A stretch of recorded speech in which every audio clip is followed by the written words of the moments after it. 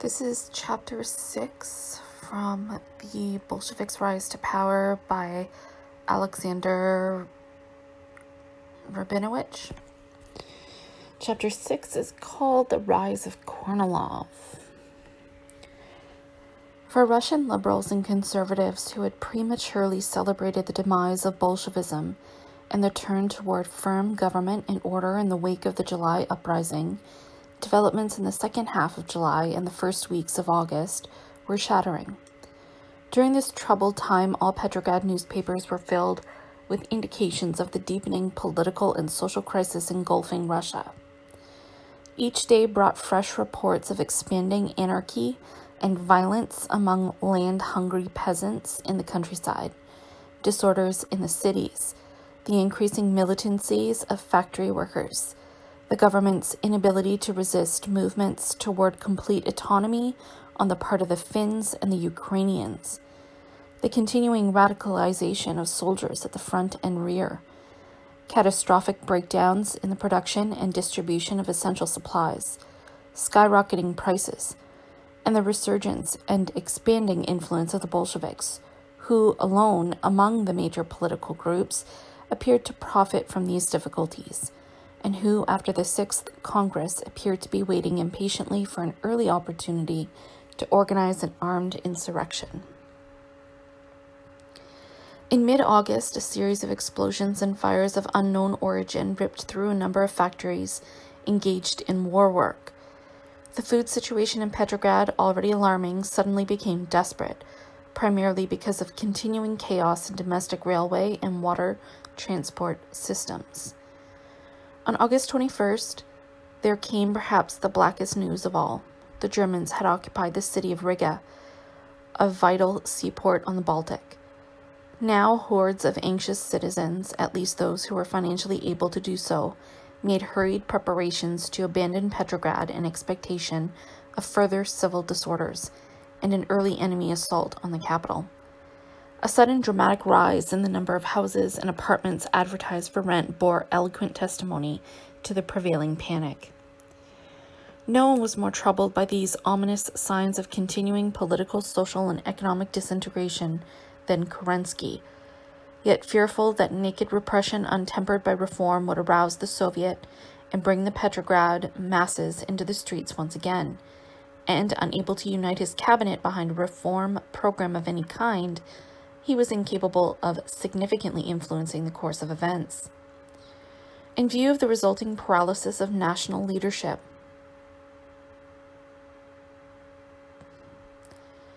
um, of national leadership increasing numbers of industrial and business figures, representatives of gentry, gentry interests, military officers, in short, a broad spectrum of liberal, not to speak of conservative opinion, and even allied representatives in Russia concluded that the second coalition government was no more viable than the first.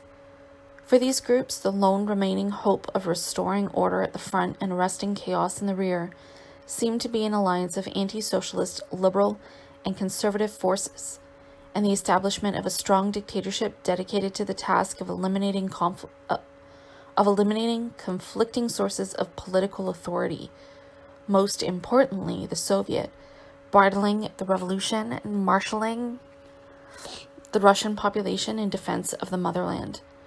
By August 1917, this orientation was shared by most cadets and by such important centrist political pressure groups as the All Russian Union of Moscow. It has recently been shown that while a minority of cadet leaders responded to the events of late July and August by calling for continued support of coalition government and close cooperation with moderate socialists in the satisfaction of mass demands for reform, the main body of the party, headed by Milyukov, shifted decisively rightward. At the same time, cadets of this persuasion tended by and large to shy away from direct participation in preparations for a coup d'etat. This appears to have been the position of the All Russian Union of Trade and Industry and the Union of Landowners as well. Believing that any effort to establish a dictatorship not endorsed by both the cabinet and the Soviet would most likely fail, for the time being they sought simply to exert pressure, both within and outside the government, for the most forceful measures possible to restore law and order and the fighting capacity of the armed forces. Other sizable center and rightist political groups, impatient with Kerensky at this time, had no such reservations about how a, dictator- a dictatorship should be established. Predictably, among the most prominent of these more militant groups were various organizations representing military officers. Embittered elements of the officer corps had first begun to consider possibilities for a military dictatorship as early as April 1917. Subsequently, their number grew rapidly, and representatives of a host of military organizations began swarming around army headquarters in Mogilev, like bees in a hive, concocting elaborate schemes to halt and reverse the changes wrought by the February Revolution. In July and August, the most important of these militant pressure groups representing officers were the Union of Officers of the Army and Navy, whose central or main committee was permanently headquartered in Mogilev, and the Military League and the Union of St. George Cavaliers, both based in Petrograd.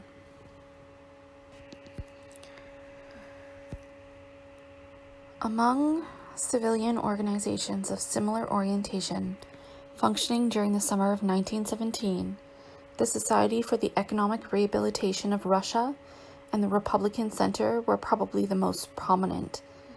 The Society for the Economic Rehabilitation of Russia first formed in April 1917 and headed by Alexander Guchkov and Alexei Putilov, initially united influential figures in the fields of business, industry, and insurance to finance the preparation and dissemination of anti Bolshevik propaganda and to support candidates for election to the Constituent Assembly. But as the political crisis in Russia deepened, the Society began to work closely with top military personnel and to devote increasing attention to the support of preparations for the establishment of a military dictatorship. The evolution of the Republican Center was similar. Founded in May under the auspices of the powerful Siberian Bank, by conservative business and military leaders to support a propaganda campaign aimed at breaking the spontaneous revolutionary movement, the Republican Center soon acquired an active military section. Headed by Colonel L.P. Desimeter, and including representatives of all of the more important military officer groups operating at the time, this organ concerned itself almost exclusively with technical preparations for the seizure of power. It remains to be recorded that during the spring and summer of 1917, these military and civilian rightist organizations considered several prominent military figures for the post of dictator. Among them, Generals Alexeyev and Brusilov and Admiral Kolchak. By late July, however, the obvious favorite had become General Lavr Kornilov, the newly appointed commander in chief of the Russian army. Short, lean, noticeably bandy legged in stature, straightforward and tough in manner, Kornilov was distinguished by his narrow beard, his thick, graceful mustache, and the slanted eyes and high cheekbones of his Mongolian forebears. Hmm. Born into the family of a Cossack officer in 1870, and raised in a remote corner of Siberia, Kornilov received a narrowly military education and began his professional career as an explorer of, the Chi- of Chinese Turkestan and the eastern provinces of Persia. He saw action in Manchuria in the Russo Japanese War and served from 1907 to 1911 as military attache in the Russian leg- legation in Peking. During the first months of World War I, he advanced rapidly in rank, and early in 1914 he received command of an infantry division. Shortly thereafter, in the spring of 1915, the bulk of his division was annihilated by Austrian forces. Kornilov himself was captured while wandering in the woods and subsequently spent close to a year in Hungarian prison camp. An impression of Kornilov's state of mind during his confinement was recorded by General E.I. Martynov, who shared quarters with the general in captivity and under whom Kornilov had served in Manchuria. According to Martynov, during those months of rising popular indignation against the Tsarist regime in Russia, Kornilov, gnawed by thwarted ambition, passed the hours of enforced leisure engrossed in books about Napoleon, a pastime which only caused him further frustration. Martynov maintained that at that time Kornilov was, was sympathetic to the Black Hundreds. Reading in the Austrian press of the struggle between progressive Duma leaders and the Russian government, Kornilov talked incessantly of the pleasure he would derive from hanging all those Guchkovs and Milyukovs. In July 1916, Kornilov, disguised as an Austrian soldier, managed to escape and return to Russia. Largely because of of publicity in the Russian press thirsting for triumphs, however small, during this militarily bleak period. Kornilov became a national hero overnight. Kornilov's escape, more than anything else, fostered the aura of courage and bravery which surrounded him by the time of the February Revolution. Apart from this, his military record was undistinguished, a fact that once prompted General Brusilov to comment brusquely. He was the commander of a mounted partisan detachment and nothing more. After the February events, Kornilov made a rapid, if superficial, adjustment to the changed political atmosphere. Appointed commander of the Petrograd military district at the urging of Duma leaders in search of a well known and authoritative figure to help restore order and calm, Kornilov commented to reporters upon his arrival in the capital on March 5th that the revolution ensures victory over the enemy.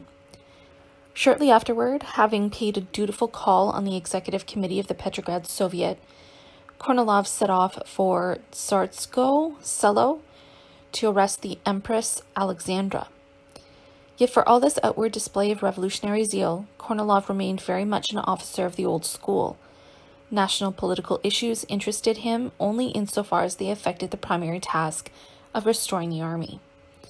He was described by Martynov as an absolute ignoramus in the realm of politics, and by General Alexeyev, who also knew him well, as a man with a lion's heart and the brains of a sheep. Kornilov understood very little about the conflicting concerns of the various political groups and classes within Russian society. He drew little distinction, for example, between the moderate socialist leadership of the Petrograd Soviet, which, while working for a negotiated compromised compromise peace, nonetheless steadfastly supported the Russian defense effort and the Bolsheviks. Um, who condemned the war and the defense effort all, altogether. After all, was not the Soviet responsible for initiating the breakdown of traditional military discipline in the armed forces, and for all those meddlesome committees and political commissars? During the height of the April protests, Kornilov, his patience exhausted, had called out his artillery with the, with the intent of using it against demonstrating workers and soldiers. But this order was immediately countermanded by the Petrograd Soviet. In response, Kornilov abruptly resigned his command and departed for the southwestern front, bristling with antagonism toward the Soviet, and hostility and bitterness toward the provisional government for what he considered its spinelessness in dealing with Russia's internal enemies. From this moment, Kornilov was understandably suspect in Soviet circles, while among workers and soldiers in Petrograd, his name was fast becoming synonymous with repression and counter revolution. At the same time, Kornilov's tough approach to the problem of controlling civil disorder attracted the attention of conservatives, who began to look upon him as the potential strongman to head a more authoritarian government. Indeed, members of an embryonic Petrograd rightist organization formed in mid March by Vasily Zavoyko and E.P. Semenov began, began to focus on Kornilov as a potential dictator in April. At the time, a member of the Zavoyko Semenov circle initiated discussions with Kornilov, who expressed his willingness to work with the group. In order to maintain a, liaison, a liaison after the general's unexpected departure for the front, Zavoyko himself enlisted in the army and became Kornilov's orderly. Zavoyko, a shady character later universally condemned as a political intriguer of the worst sort, quickly acquired enormous influence over Kornilov. The general subsequently testified that Zavoyko's services to him were mainly literary. Since Zavoyko wielded a skillful pen, he affirmed, I had him drop orders and papers requiring a particularly strong artistic style. It is obvious, however, that the functions performed by Zavoyko went significantly beyond those of a literary nature. The relationship was defined more accurately by Martynov. With such a flimsy store of knowledge, Kornilov was in need of guidance, and Zavoyko became his personal guide, one would say mentor, on all state matters.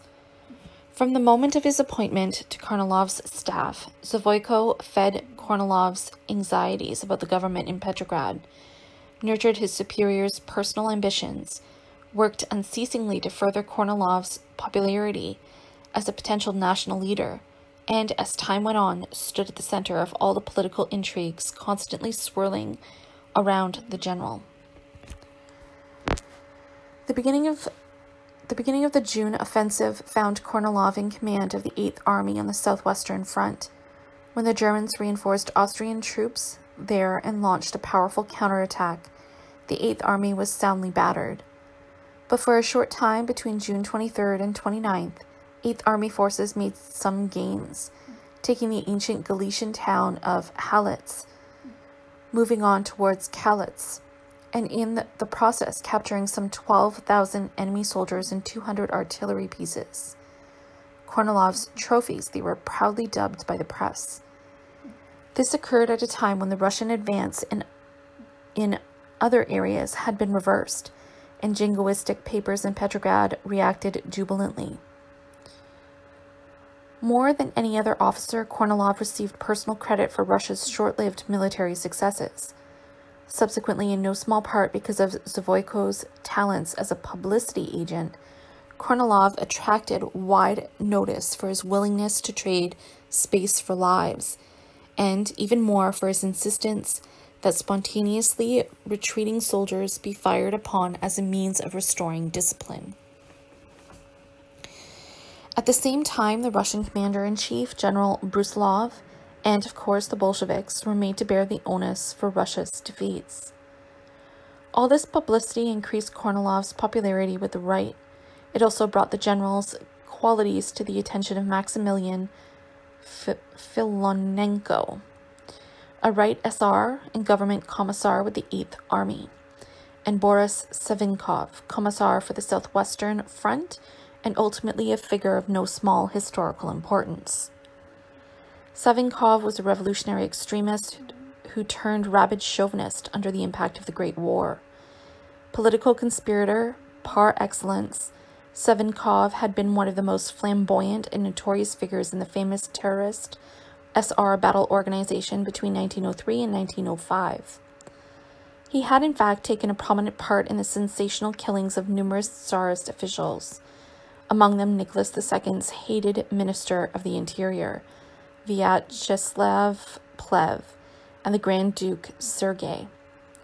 After 1905, Savinkov spent much of his time abroad where he busied himself writing a number of popular novels once uncharitably described by Woytinsky as a mixture of pulp magazine technique with revolutionary yarns and a cheap imitation of Dostoevsky's generously spiced with eroticism imported from France. At the outbreak of World War I, Savinkov enlisted in the French army, and in April 1917, he returned to Russia and placed himself at the disposal of the provisional government. In the early summer, Savinkov, who was close to Kerensky, then Minister of War, was appointed government representative on the Southwestern Front. As a front commissar, Savinkov had witnessed firsthand the virtual disintegration of Russian combat units. On July 9th, in great anguish, he had apprised Kerensky by telegraph of the horrors then unfolding.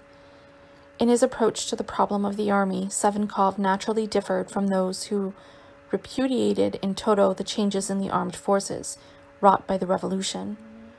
Rather, he emphasized the crucial role of civil commissars in overseeing the behavior of officers and in smoothing relations between them and the mass of radicalized soldiers. With somewhat less vigor, he defended, he defended the role of democratic com- committees, albeit with strictly limited and well defined competence.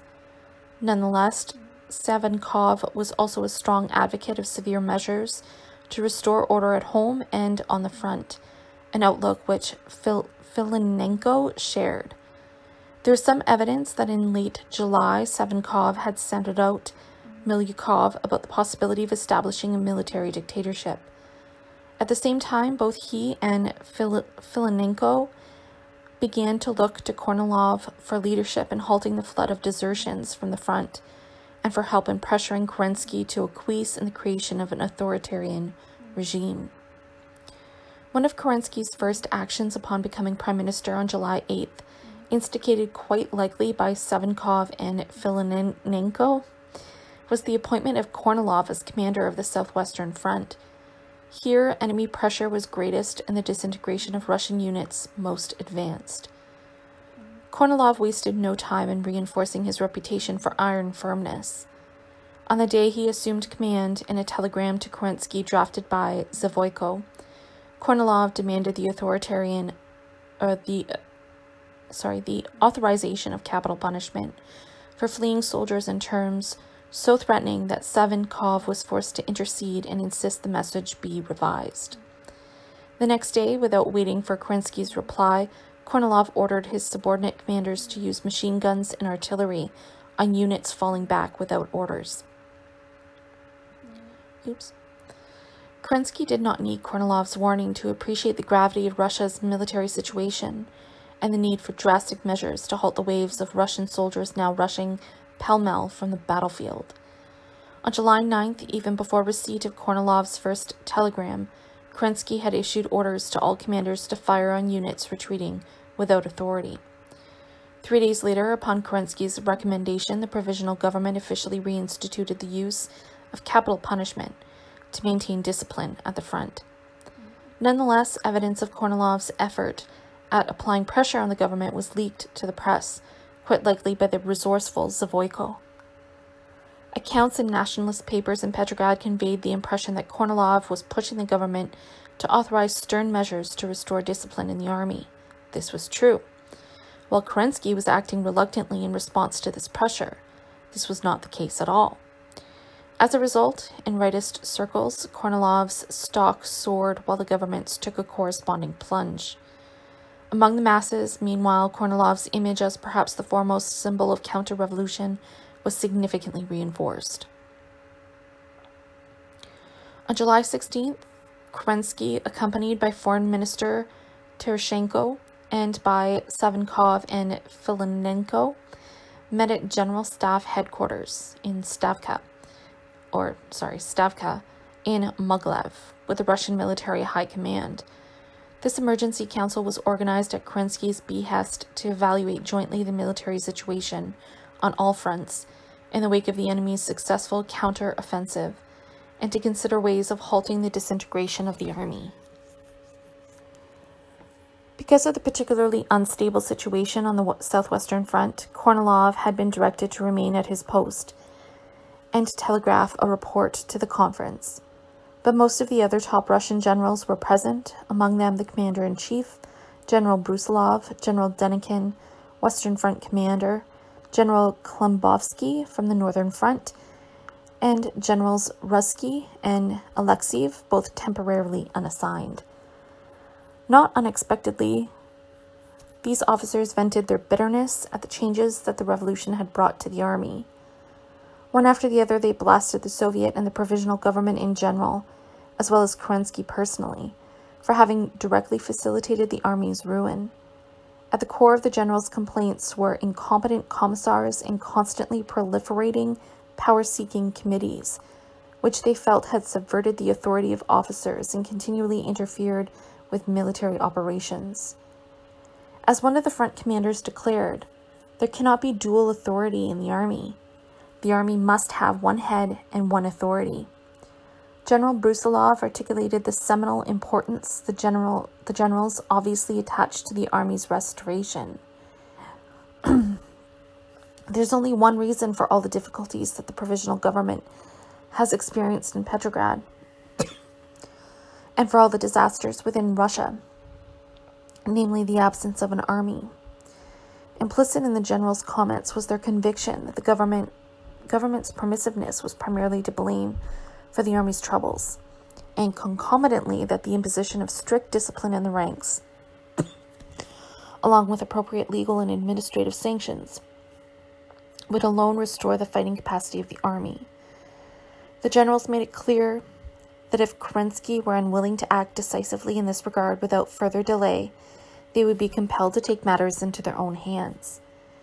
The longest, most impassioned speech was delivered by General Denikin, a dashing young, much decorated hero of the early war years, who followed his indictment of Kerensky and post revolutionary conditions in the army with a series of blunt demands for immediate implementation by the government, which subsequently received strong support from most of his colleagues.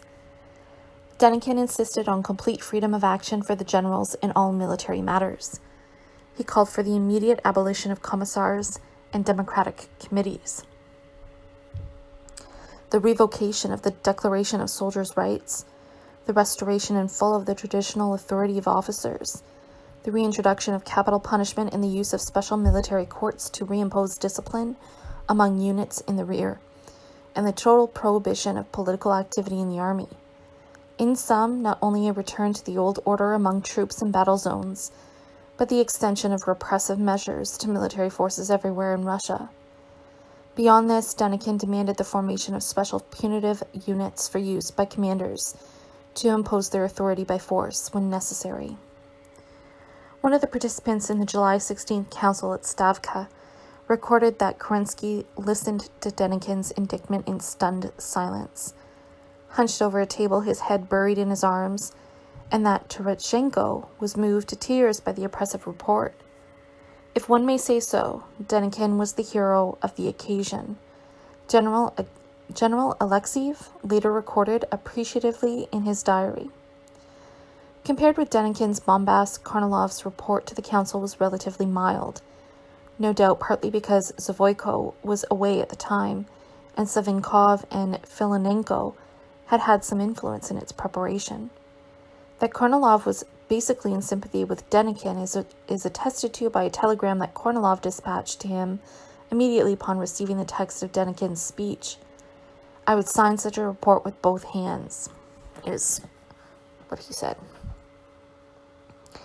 Kornilov's telegraphed report, while affirming the need for the traditional prestige and disciplinary authority of officers to be restored, for strict curbs on political activity in the armed forces, and for the extension of capital punishment and special courts to the rear, at the same time implied that commanders were, some, were to some degree responsible for breakdowns in order and discipline. Indeed, Kornilov called for a purge of the officer corps.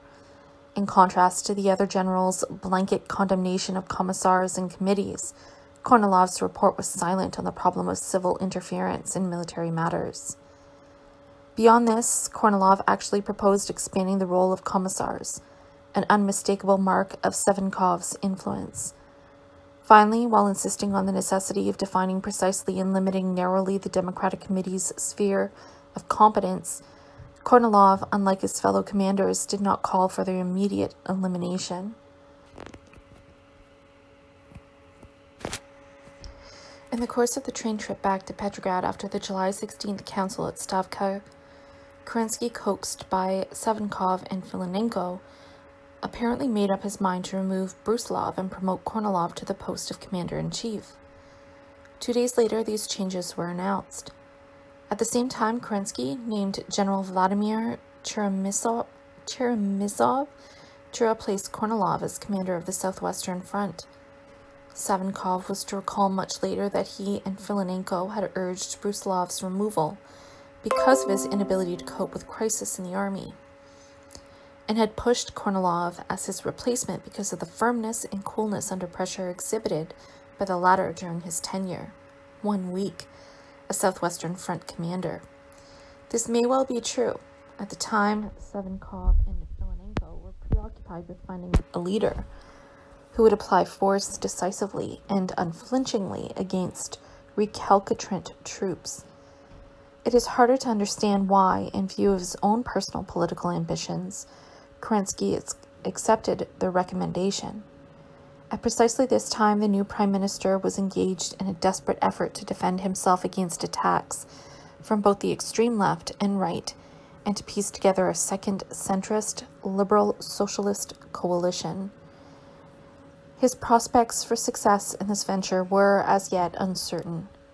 By now, Kornilov, by virtue of his growing popularity among liberals and conservatives, had become a powerful political figure and a natural rival to Kerensky. Kerensky subsequently claimed that his elevation of Kornilov was dictated by the latter's merits as a commander in the field and by his enlightened position on reform in the army, particularly his view of the future role of political commissars and democratic committees. Yet this explanation does not ring true. Kornilov's achievements on the battlefield were undistinguished, and the July 16th telegram notwithstanding, his predilection for the application of massive military force to curb disorder at home and at the front was a matter of record. It was probably Kornilov's reputation for severity and toughness, rather than his alleged readiness to accommodate revolutionary change, that now made him attractive to Kerensky. What the army needed, Kerensky appears to have concluded, was a strong personality at its head.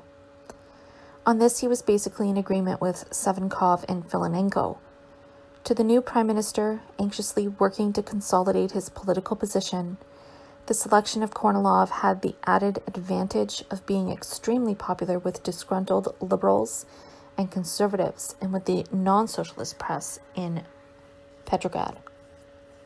It is also well to keep in mind that Kerensky's options in the matter of a new commander were quite limited. That the ineffective Brusilov had to go was by now universally acknowledged. Yet, judging by the proceedings of the council at Stavka, most senior Russian commanders were at least as reactionary and personally antagonistic to Kerensky as Kornilov. Kerensky might have considered two relatively junior officers who were not invited to Stavka on July 16th. Kornilov's replacement as commander of the 8th Army, General Cheremissov, and the commander of the Moscow Military District, General Verkhovsky. However, precisely because they rejected the idea that repressive measures alone could restore discipline in the army, and because they were willing to work with committees and commissars, and to purge the officer corps of ultra reactionaries, Cheremissov and Verkhovsky were, suspect, were suspect among many of the elements whose support Kerensky sought to win. As to the danger of independent political action by Kornilov Savinkov, who now stepped up to the post of Deputy Minister of War, and Filonenko, who was simultaneously named commissars at Stef, at Stef headquarters, doubtless expected that since they had been able to moderate Kornilov's behavior in the past, it would be possible to continue to do so. Very likely they transmitted this assurance to Kerensky. It immediately, it immediately became apparent to Kerensky that controlling Kornilov, surrounded in Mogilev by right extremists, would not be easy. The day after his appointment, July 19th, in a bluntly worded telegram drafted by Zavoyko and leaked at once to the press. Kornilov made his assumption of command of the army contingent upon Kerensky's acceptance of a series of demands altogether as ominous as those voiced by Denikin at the Stavka Council. Kornilov insisted that, as commander in chief, he would not be subject to regulation of any kind and that he would be responsible only to his conscience and to the people as a whole. He demanded total independence in regard to operational directives and appointments of commanders. Special courts and the application of capital punishment to enforce discipline were to apply to soldiers in the rear as well as those at the front. Kornilov further demanded government acceptance of all the other recommendations he had made to the Stavka Council. Additionally, on July 20th, the new commander in chief wired Kerensky insisting that the appointment of Cheremissov as commander of the Southwestern Front be rescinded. There is evidence that after receiving these telegrams, Kerensky began to have second thoughts about the appointment of Kornilov as supreme commander and seriously considered dropping the idea. He was now in an extremely awkward position. Kornilov's appointment had been made public and thanks to Zavoyko, the general's conditions were also widely known. The cadets, all other liberal and conservative groups, and the non socialist press had already formed in solid ranks behind Kornilov. Their attitude was expressed by Novo Vremya on July 20th. It was difficult, in fact, probably impossible to find a more suitable general and supreme commander in these days of mortal danger being experienced by Russia. The provisional government was forced to choose between meetings at the front, the disintegration of the army, the destruction of southern Russia, and the saving of the state, and it found in itself the courage and decisiveness, decisiveness to make the choice. Oh, that's the end of that quotation.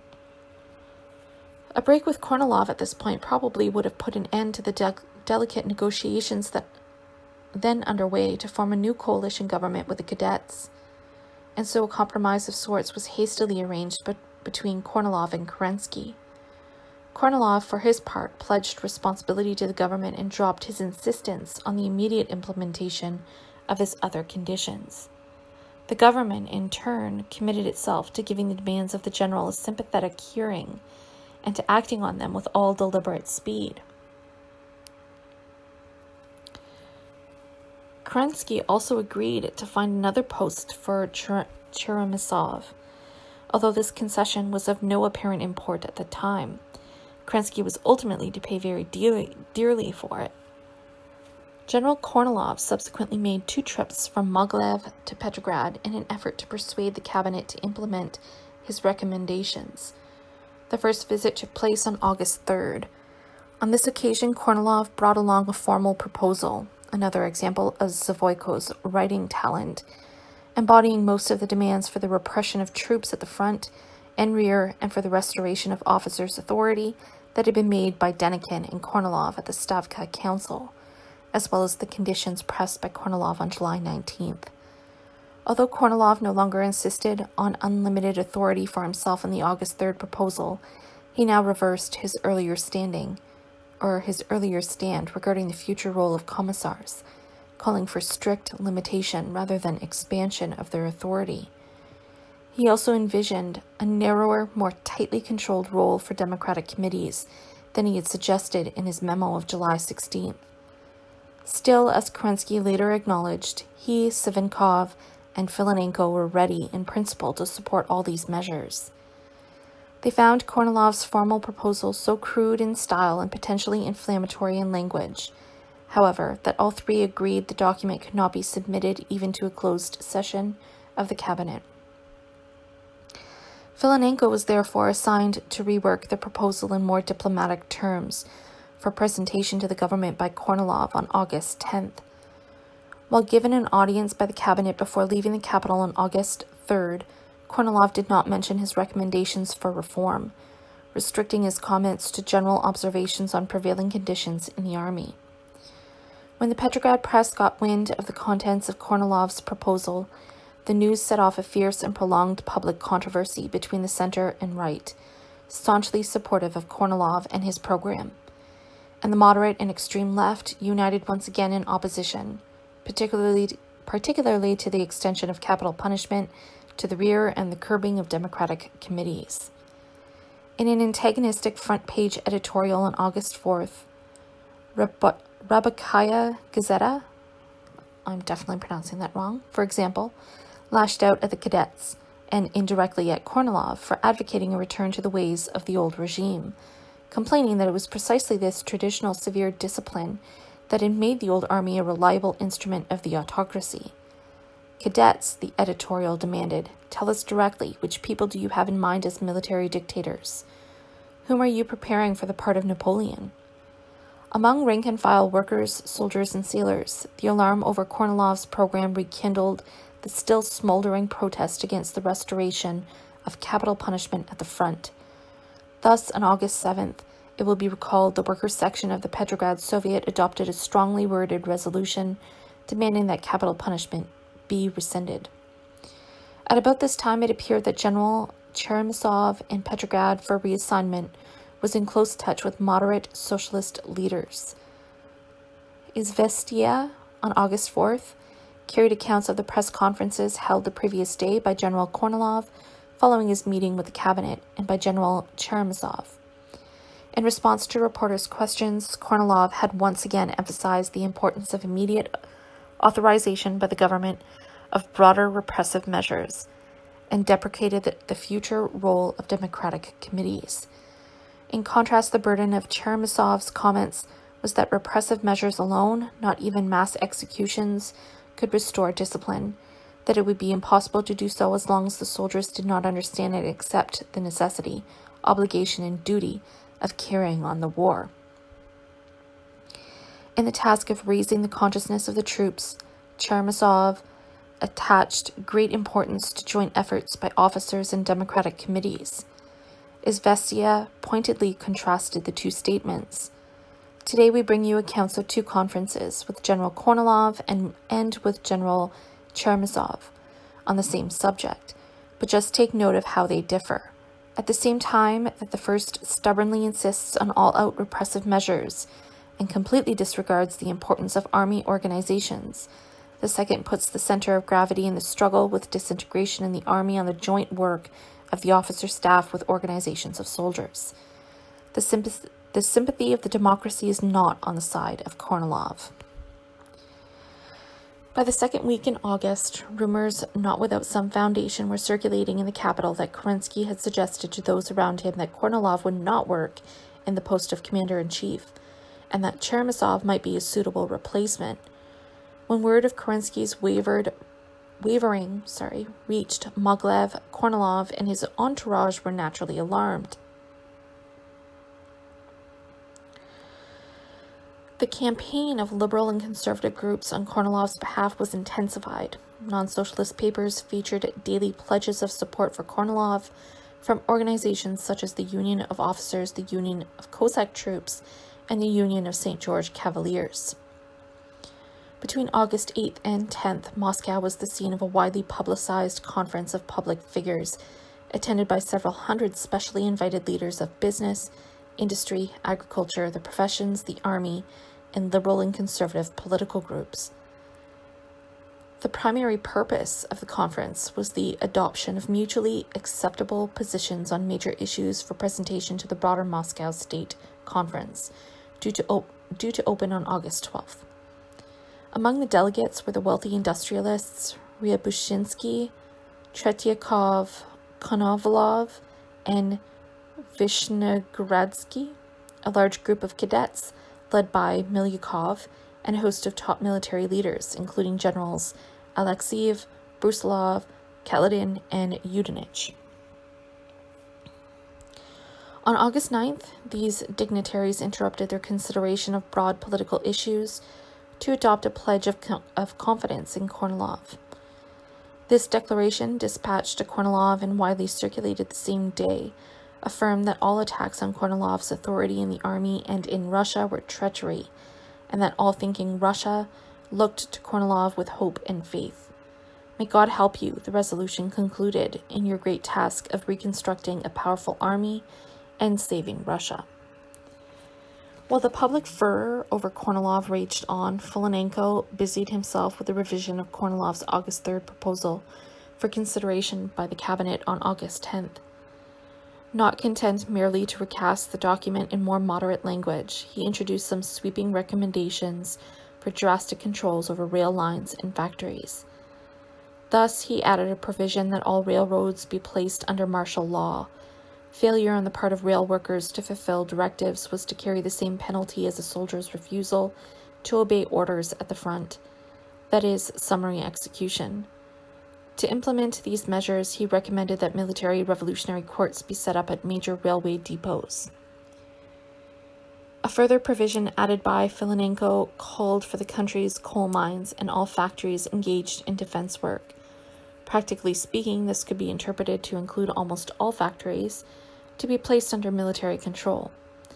In these enterprises, strikes, lockouts, political meetings, and in fact assemblies of any kind were to be pro- were to be prohibited for the duration. Employees would be assigned minimum mandatory work quotas.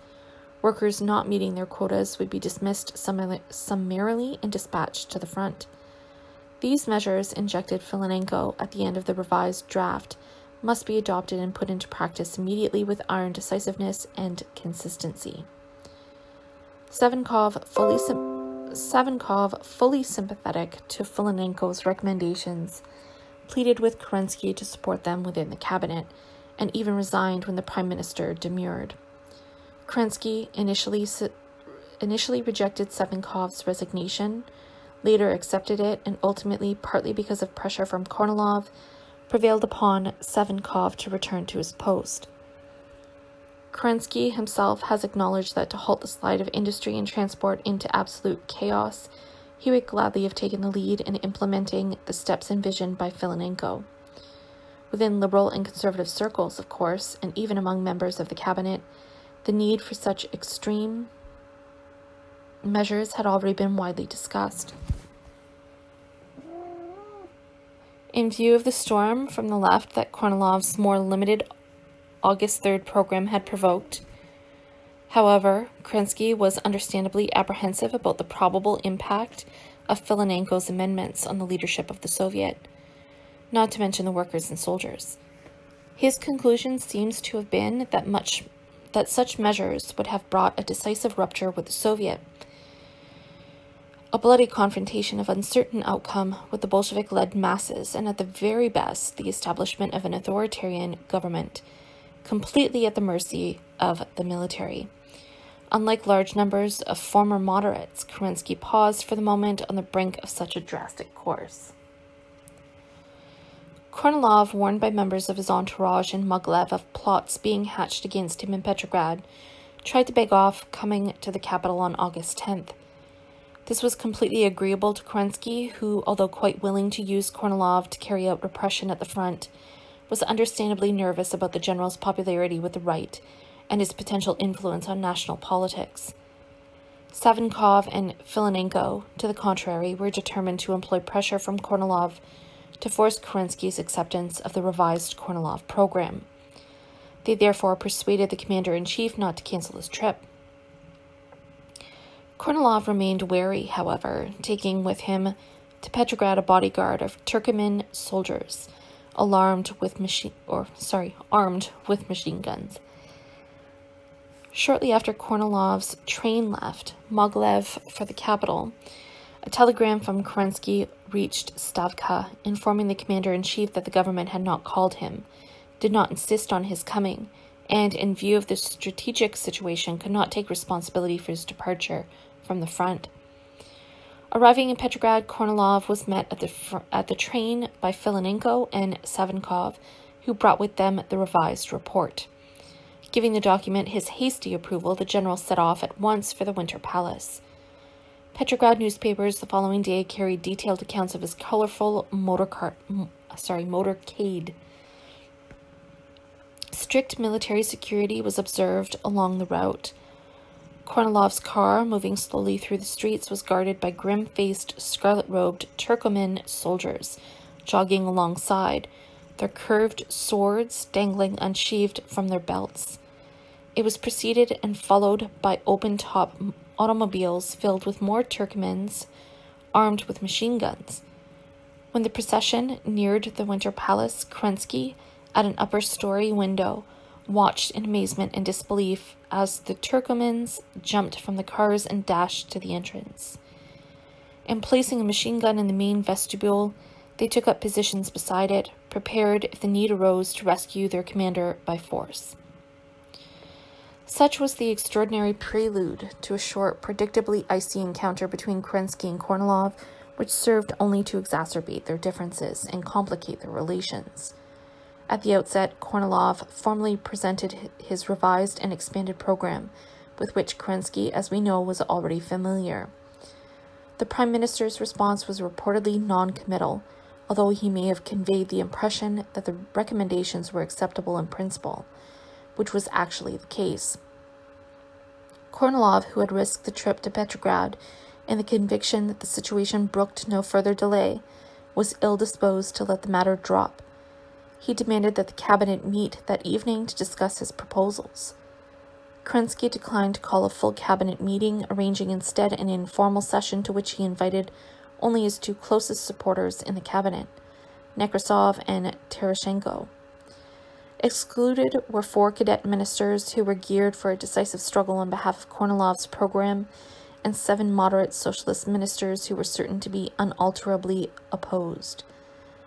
The upshot of this gathering on the evening of August 10th was that while Kerensky, Tereshchenko, and Nekrasov registered their willingness to support before the full cabinet Kornilov's recommendations relating to the restoration of the army. In substance, the recommendations Kornilov first brought to Petrograd on August 3rd, they firmly insisted on laying aside the new provisions dealing with controls over railways and factories added by Filonenko. One can well imagine Kornilov's frustration as he left Petrograd for Mogilev late on the night of August 10th. His encounters with the Prime Minister on August 3rd and 10th had strengthened his disdain for Kerensky personally.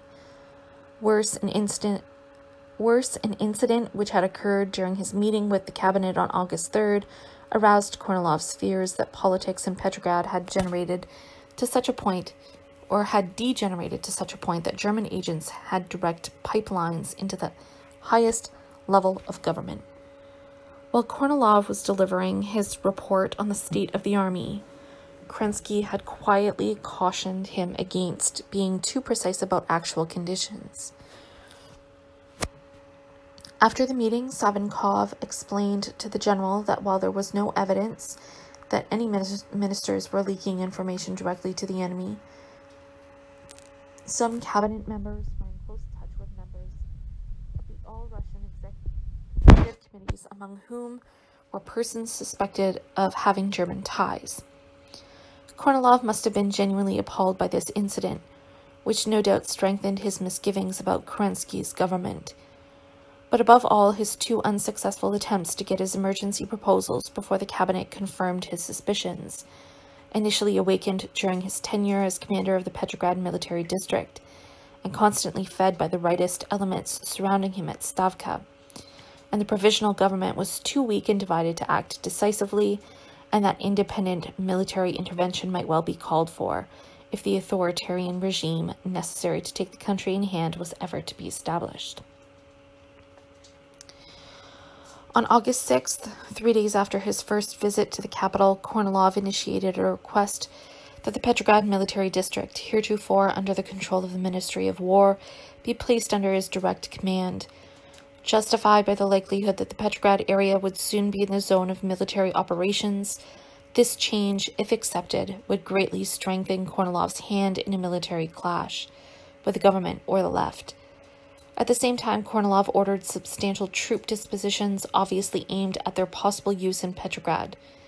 To the delight of the right extremists who had long since been preparing for a coup, such preparations were intensified after Kornilov's second visit to Petrograd. in a conversation with his chief of staff, General Lukomsky, on August 11th, Kornilov explained that these actions were necessary because Bolshevik because a Bolshevik rising was to be expected, and it was high time to hang the German agents and spies headed by Lenin, and to disperse the Soviet of workers and soldiers in such a way that it would not reassemble anywhere. Commenting to Lukomsky on his appointment of the ultra-conservative General Krymov as commander of the troops being concentrated around Petrograd, Kornilov expressed pleasure that Krymov would not hesitate, if necessary, to hang the entire Soviet membership. Of course, all this does not necessarily mean that Kornilov was now irrevocably committed to direct military action against the government. In view of the unpopularity of the steps envisioned in Kornilov's program among the Petrograd masses and their likely response to its implementation, the troop dispositions made by Kornilov during the first half of August were advisable whether the army ultimately acted alone or in cooperation with Kerensky, it appears that Kornilov, unlike many of his supporters, still had a, held out some hope that the government would take stock of its situation and submit to his authority peacefully. Lukomsky recalls that Kornilov commented to him on August 11th that he was not planning to move against the government, that he hoped it would be possible to reach agreement with it. Nonetheless, it also appears clear that Kornilov was now prepared to act independently should this prove necessary.